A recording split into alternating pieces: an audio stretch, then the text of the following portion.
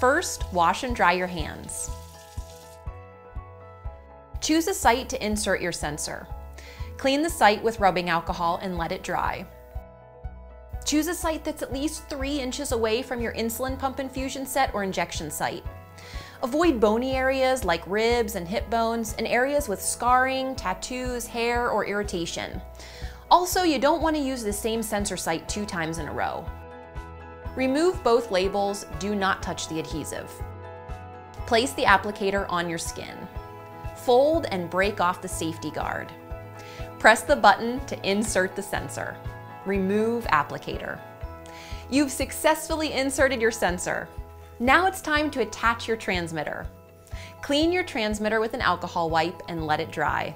Insert the transmitter tab into the slot. Snap the transmitter firmly into place. Rub around the patch three times.